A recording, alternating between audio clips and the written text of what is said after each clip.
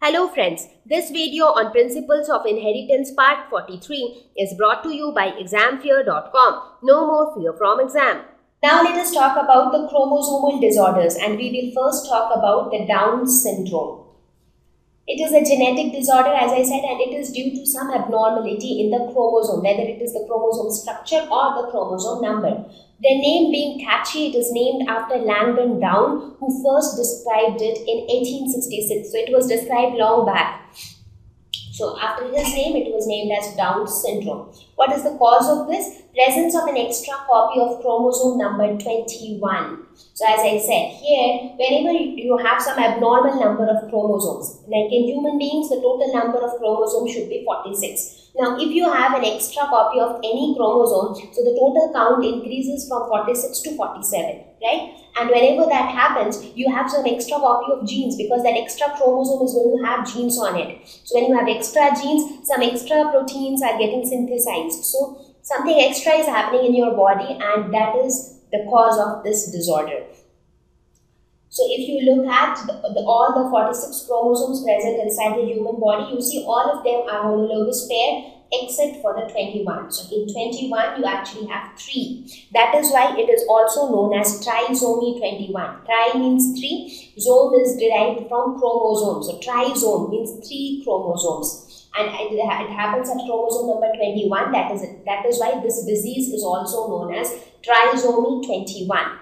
Some of the symptoms of Down syndrome are the the individual generally have a short height. They also have big wrinkled tongue, and their facial uh, features are very different. Like they have flattened nose, the tongue is also different. Their mouth is always partially opened. I mean, it is not either completely closed or completely open. Partially opened mouth, broad palm, and a lot of crease on the palm. Physical and mental retardation is also seen increased risk of heart diseases, thyroid disorders, mental illness. Now, since such individuals have increased risk of so many diseases, therefore their health, there, there are chances that their health might get spoiled at a very early age.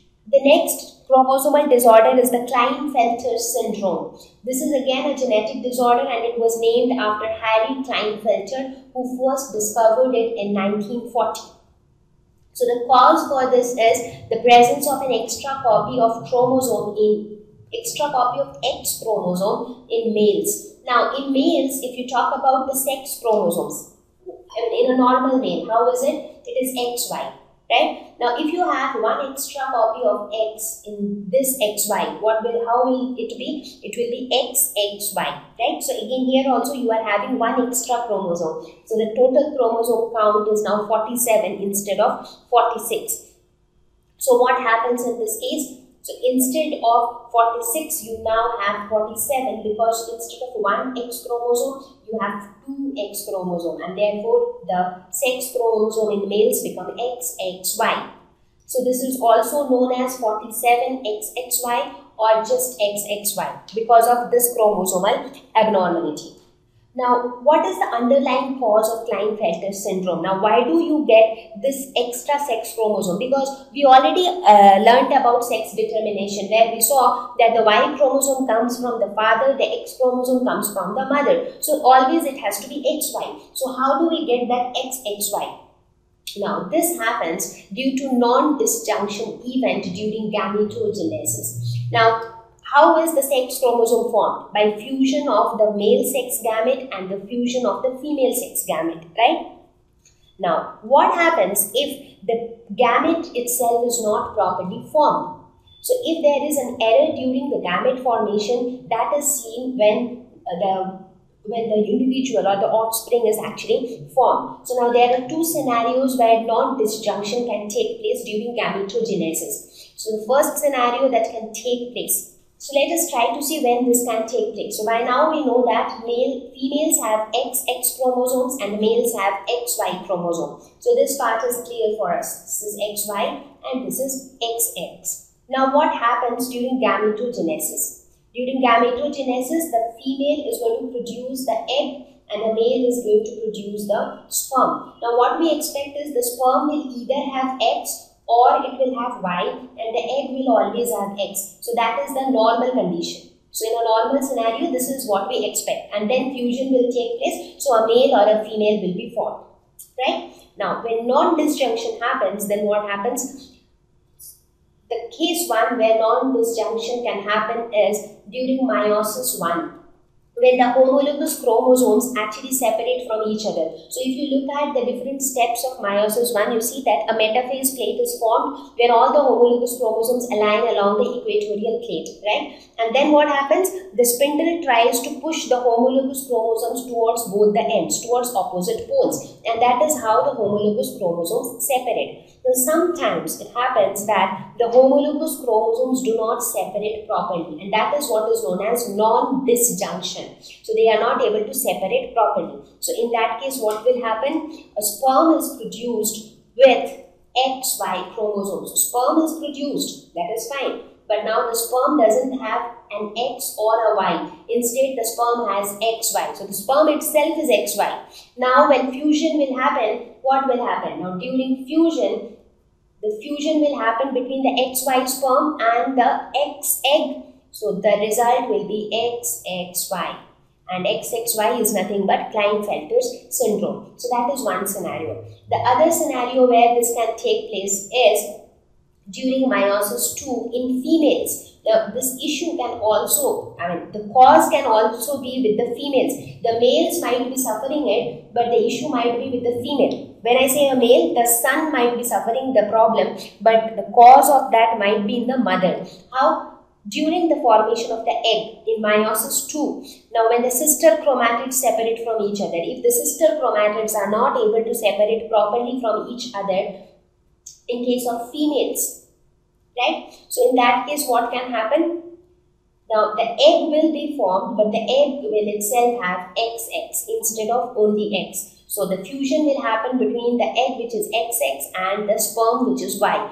And the result of this will be XXY which is the Klinefelter syndrome. So basically Klinefelter syndrome happens only when the separation between the homologous chromosomes or the separation between the sister chromatids could not take place properly during the process of meiosis and meiosis happens for gametogenesis, for gamete formation right? So when they are not able to separate properly then uh, an, a proper sperm or, an, or a proper egg is not formed. And if that is the case their fusion results in the formation of xxy which is a trisomy condition. That is a condition where you have three chromosomes in your sex chromosomes so some of the symptoms of Klinefelter syndrome are, in, in this case, since you have XXY instead of XY. So XY denotes all masculine features in a male. But this disease affects only males, right? Because whenever you have a Y in your sex chromosome, it has the gender has to be male. So it affects males. But the thing is, since you have an additional X chromosome, so the male gets some additional feminine characteristics.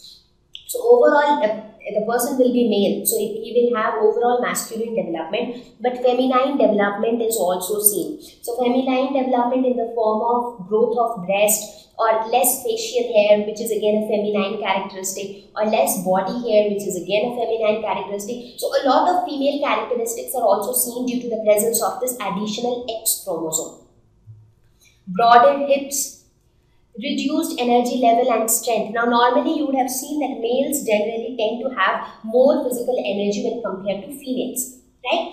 But in case of males suffering from Klinefelter syndrome, they have some feminine characteristics and as a result of which their energy level is also low when compared to other males of the same age. Their strength is also low. So, they tend to be weaker than other males of the same age group.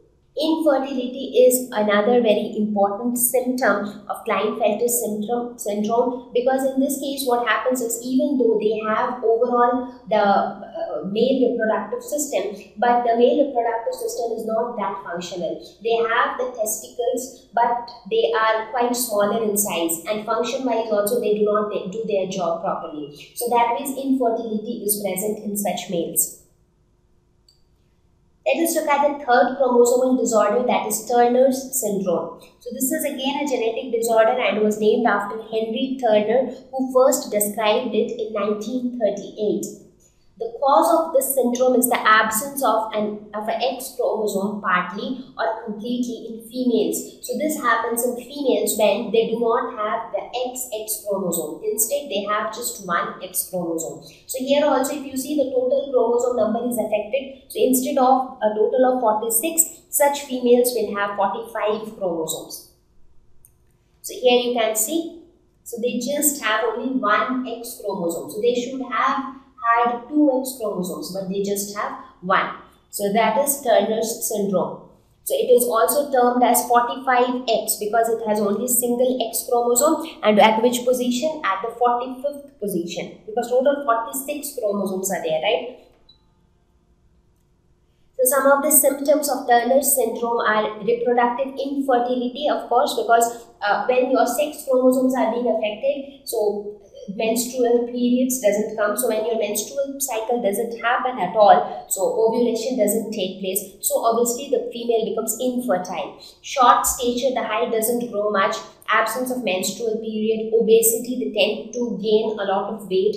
Webbed neck. So here on the neck region normal for a normal female this is how the neck would be. It will be like little uh, slender. But here the webbed neck. So it is like attached to your uh, shoulder so that is how it will be. Ear infections are very common. Visual impairments are also very common. I mean, it is not that they are all born blind and deaf. They, they are normal, but the chances of their hearing or visual uh, parts being affected is more. So they can get ear infections or visual impairments quite easily when compared to others. Small, very small fingernails, not very long. Thank you. Please visit www.examfear.com to watch more videos, attempt free online test, get free study material, find tutors and mentors. Thank you once again.